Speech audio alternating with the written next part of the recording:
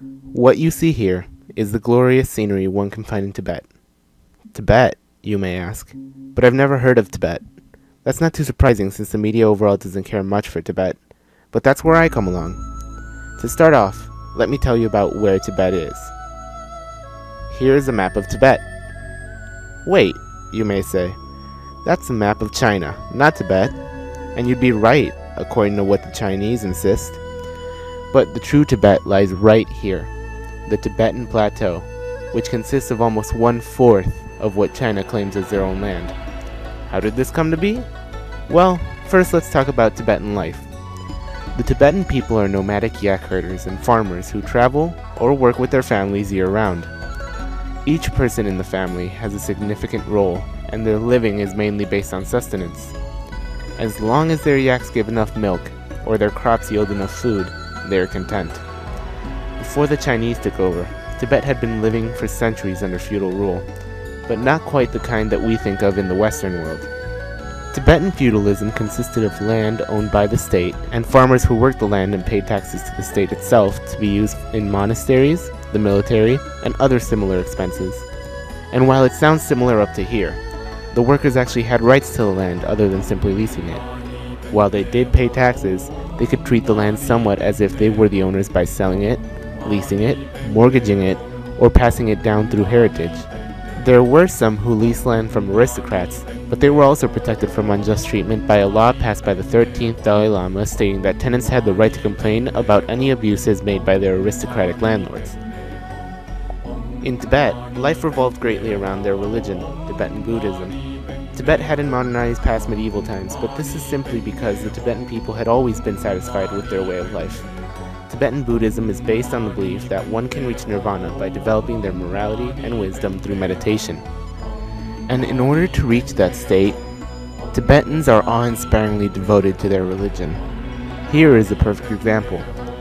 These women are performing full body prostrations, a Tibetan form of worship in which one moves their hands together from head to chest and then prostrates themselves on the ground. However, these are not ordinary full body prostrations because they are taking part in a pilgrimage while only moving distances based on how many full body prostrations they've done. This is a grueling task and is usually done after an important event or in preparation for one, such as the death of a father or an upcoming festival. A common destination for these pilgrimages is the capital of Lhasa, which, depending on the distance, can take anywhere from a few months to several years to reach. Their everyday life is also affected greatly by their religion, as they take time to meditate, pray, or do full body prostrations at home. These here are prayer flags. The five colors of the flag represent the five elements earth, water, fire, air, and space.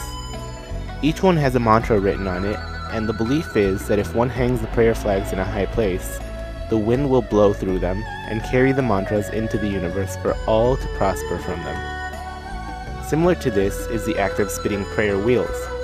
A prayer wheel is a round cylinder with mantras written on the inside and outside of it. Prayer wheels work by spinning, and each full rotation in a clockwise direction is the equivalent of reciting the mantra a single time.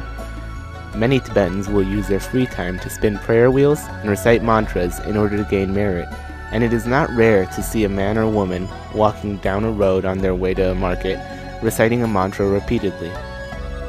Another aspect of Tibetan Buddhism is the festivals.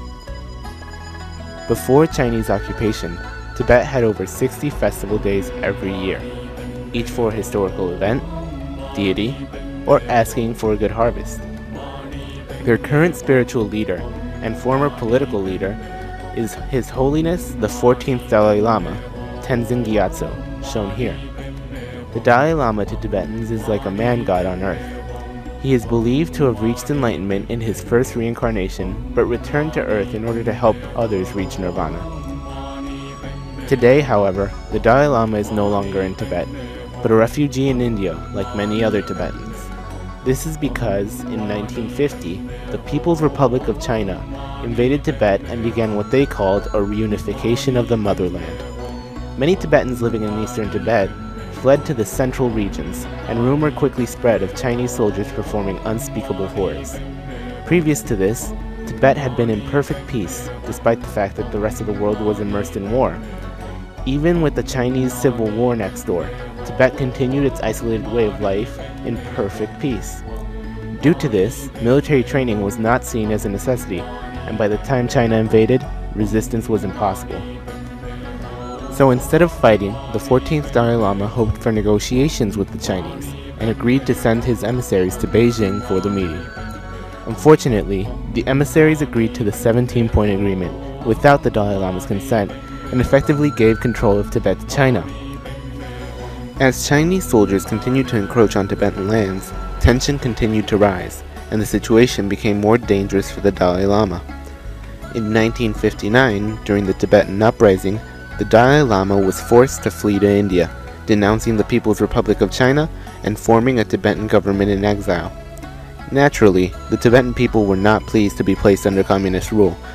The two were polar opposites, one pro-religion, the other against. One happy in feudalism, the other demanding total equality. And as time continued, the tension did anything but lessen. Even though the Tibetans were now technically Chinese citizens, they were still treated as inferior in many ways. Social stigmas and government prejudices were made evident time and time again, and many Tibetans, like their beloved leader, fled their homeland in search of refuge. More problems arose, and during Mao Zedong's failed Great Leap Forward, the Tibetans were hard hit, as their problems were ranked lower than everyone else's. After Mao's death, Deng Xiaoping attempted to start a rapprochement with the Tibetans who had been living in exile, hoping that they would return to live in China. He was confident that upon seeing the improved conditions and the conformity of the Tibetan people in China, those living in exile would gladly come back. However, when the exiles visited Tibet, they were greeted like heroes by those who stayed behind, and it was evident that they were not at all happy living under Chinese rule, throwing out all possibility for the return of the exiles. Later, when the new Panchen Lama was announced, the second highest religious leader to the Dalai Lama, he mysteriously disappeared, and the Chinese government tried to replace him with their own government-approved Panchen Lama. Not surprisingly, Tibetans refused to acknowledge the replacement as their true Panchen Lama, and continue to search for their own to this day. These are just the major events though, because within the Tibetan Plateau, much more happens that hasn't gained as large a profile. Tibetans are treated as second-class citizens and harsh judgely for nearly anything they do. It's normal to hear of a Tibetan getting arrested after police find a picture of the Tibetan flag on his phone.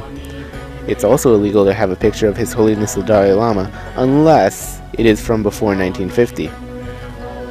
Another common occurrence is for Tibetans to have their homes raided without warrant for evidence of contraband. It is also not uncommon for a Tibetan in need of medical assistance to be turned away at a hospital run by Chinese doctors. These breaches of human rights have occurred and been reported countless times yet still been ignored. So much so that in desperation for AIDS, protests have gone to extremes. This happened not with riots or destruction of property, because that would be against their religion, but with self-immolations, the most extreme form of protest possible without harming anyone else or their belongings. Since March of 2011, over 100 people have self-immolated to protest Chinese occupation within Tibet, with some happening outside as well. Several prominent figures, including the Dalai Lama, have risen to spread the word of what is happening and seek to help in convincing China to give Tibetans their rights, and yet very little has happened. Why? because primarily the United States has little to gain from freeing Tibet, and secondarily, China has a hold in almost every country in the world, especially the more modernized ones like the United States. China is a valuable resource, and it knows that. So the government feels that they can get away with this because they know that there is very little challenge another country could give them without jeopardizing their relationship with them in business and productions. This is also true when looking at their history of human rights abuses with their own people. Their grip on the United States is so potent that when a meeting between President Obama and the Dalai Lama took place, the Dalai Lama had to be escorted from the White House through the back door where garbage bags were left in order to help keep up low profile. While the Dalai Lama has changed his attempts for freedom into attempts to establish an autonomous Tibet region within China, many other Tibetan leaders and Tibetans within and outside of Tibet continue to lead the cause for total freedom in hopes that one day Tibet will no longer be oppressed and will be able to live as its own country. a country where Tibetans will not only be free, but they will also be able to live with their own culture and tradition as they did a century ago.